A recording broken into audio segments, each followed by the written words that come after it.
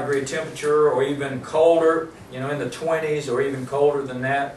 Uh, they'll have a large machine that they call a chiller, uh, and that refrigeration machine uh, will remove heat from uh, a liquid, and then they'll pump that liquid throughout a series of coils. The liquid in the coil is colder than the air blowing across the coil, so you have a natural heat transfer that occurs. Uh, so that's, that's the process of refrigeration, removing heat from one place where it's not wanted, rejecting it into another place where it makes no difference. Uh, an ice machine, you got an ice machine, it's, uh, you know, you got different types of evaporator coils. Uh, and typically, the, uh, the evaporator may be a mold where the water uh, actually flows across a certain mold and uh, the temperature of the evaporator is well below freezing. The water freezes in the mold. When it gets ready to harvest, you know, you get a, you know, you get an ice cube, whatever shape the ice cube may be. So that's how the evaporator works. It, it rejects heat, I'm sorry, it, it absorbs heat from the medium of exchange. Uh, again, this is a typical uh, low medium temperature evaporator. Your air conditioning evaporator coils, the fins are closer together because you know, it doesn't have to be defrosted. Now, if uh, an air conditioner evaporator coil freezes up, you got a problem. Not supposed to freeze up. It's a high temperature coil. Your, your normal operating temperature is 40 to 45 degrees. Let's say you got an air conditioner uh, and the evaporator is freezing up. What, what does that tell you? It tells you the operating temperature is below freezing and the condensation that naturally occurs is, is icing up. That should not happen. You know, a couple of things can cause that. Low airflow across the evaporator coil, low heat load, uh, low refrigerant charge, and uh, your, your evaporator temperature is dropped below freezing. But an air conditioner evaporator coil should not freeze up. That's a problem if it does. Now, uh, what occurs in the evaporator? Number one, it absorbs heat from the medium of exchange. Number two, that's where your superheat occurs uh, inside your evaporator. Um, now, you've got, in the evaporator coil, you've typically got a mixture of partial liquid, partial vapor. All right, let's say, here's your metering device here. Uh, and and we're, we're going to we're going to cover metering devices in another lecture. All right, and then here's your evaporator coil here. And so we'll just kind of draw that out, and I'm not the best artist. All right, you've got liquid entering the metering device here, and it's 100% subcooled liquid. All right, this is where your pressure change occurs. Uh, you got high pressure here, you got low pressure here. That's where your pressure change occurs. As the refrigerant enters the, the evaporator, goes through the metering device, your pressure's lowered, and what happens is that refrigerant, that liquid, begins to expand rapidly. Uh, and this is where your flash gas occurs. If you remember the pressure enthalpy diagram, this is where your, uh, your change of, uh, this is where the uh, refrigerant begins to boil off because you had a pressure change, a sudden pressure change, and you had a sudden temperature change. Uh, let's say you went from, you remember the example we did earlier, you had a 105 degree liquid. Okay, that 105 degree liquid at 260 psig, when it goes through the metering device, um, it goes from 260 psig down to about 70 psig. And the temperature goes from 105 to about 40 degrees. That's a drastic change. All right, as that change, as that change occurs, um, you've got a partial liquid, partial vapor going on here.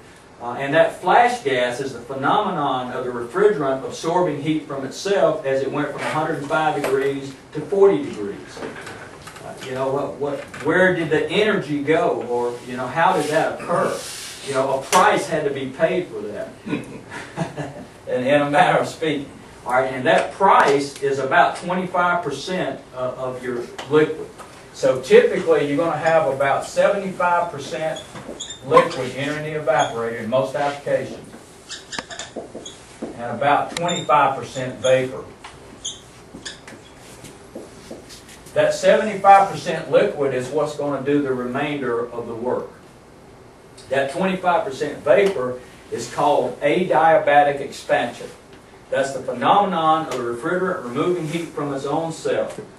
Um, you know, no real net refrigeration effect is gained or lost in that process. So that 25% vapor is, uh, is the efficiency cost. That's what it costs for that liquid to go from 105 degrees down to 40 degrees as it passes through the metering device. So that 75% liquid is what's remaining in the evaporator, and it's boiling off as it travels through the coils. What's happening as it boils? It's absorbing heat. All. Right, the, uh, the molecules in the liquid refrigerant expand rapidly. Uh, you know, evaporization is a process of uh, a rapid expansion. The molecules expand rapidly. As they do, they absorb massive amounts of latent heat from the air blowing across the coil or the water passing through the water tubes if it's a water-cooled uh, or if it's a water evaporator. So, uh, this is refrigeration occurring. The uh, remaining 75% liquid boils off in the evaporator as it absorbs heat. All right, as it gets near the outlet of the evaporator or somewhere close to the outlet of the evaporator, something happens. There's no more liquid here. I'm going to have to get another marker. There's no more liquid to boil, and it's now 100% vapor. That's what we call saturated vapor.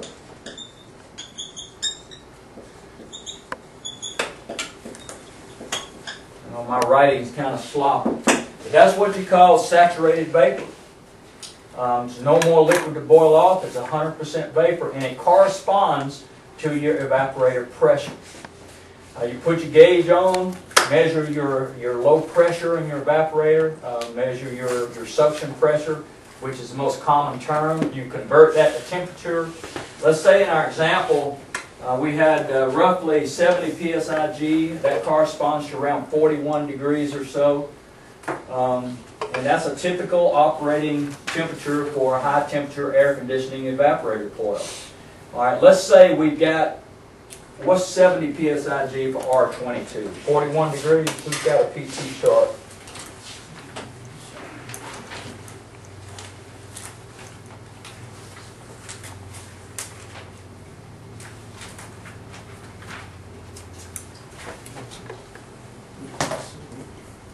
Okay, 70, um, is, I was right, 41 degrees.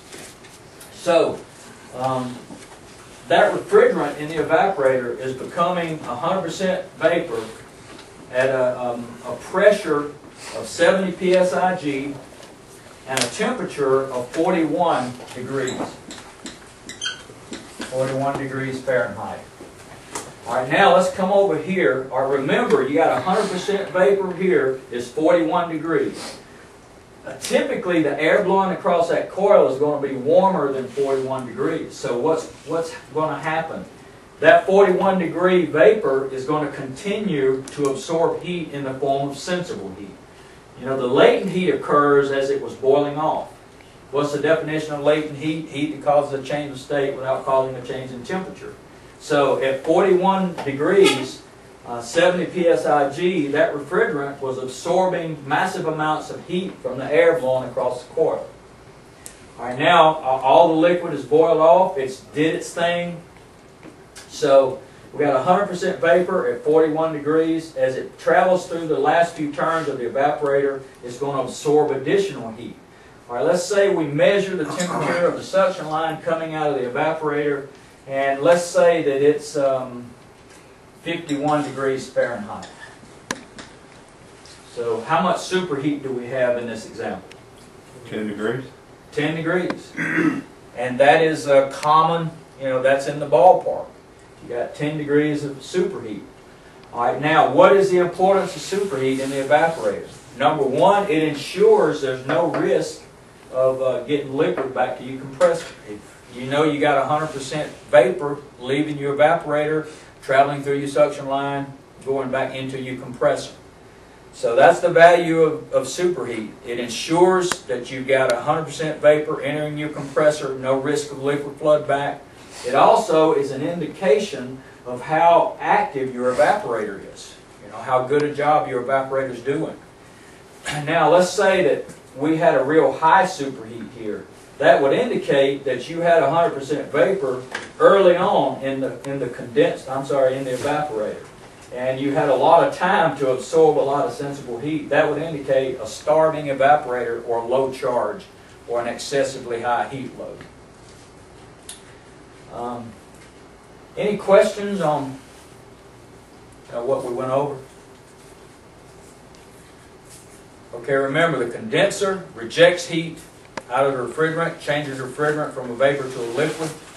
The uh, evaporator absorbs heat from the medium of exchange, uh, and uh, the refrigerant changes from a liquid to a vapor.